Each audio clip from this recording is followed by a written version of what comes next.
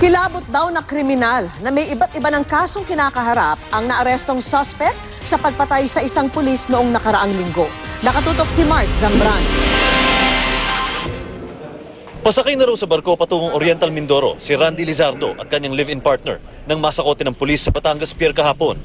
Si Lizardo ang pangunahing suspect sa pagpatay kay PO1 Enrico Domingo ng Special Operations Unit ng Pasay noong January 4. Sa CCTV video, makikita ang pagresponde ni na Domingo at tatlo operatiba. Sa Barangay 69 Zone 9 sa Pasay matapos makatanggap ng tip na may drug session sa lugar. Nakangiti pa si Domingo habang naglalakad. Ayon sa Pasay Police, mismong ang live-in partner ni Lizardo ang nagpapasok sa mga pulis sa kanilang bahay. Nang makapasok, pinaputokan daw ni Lizardo at dalaw pang suspect ang mga pulis sa katumakas. Dead on the spot si PO1 Domingo matapos tamaan sa ulo at katawan. May tama rin ang kasama niyang si PO2 Harley Garcera na ngayon nasa ligtas ng kalagayan. Nang iharap sa media kanina, inamin ni Lizardo na nagdodroga sila ng pasukin ni na Domingo. Nagawa lang daw niyang paputukan ng mga pulis dahil sa takot para sa kanyang mag-ina. Katutok po yung baril ng pulisya eh. Sa asawa mo? Sa asawa to na ko, sir.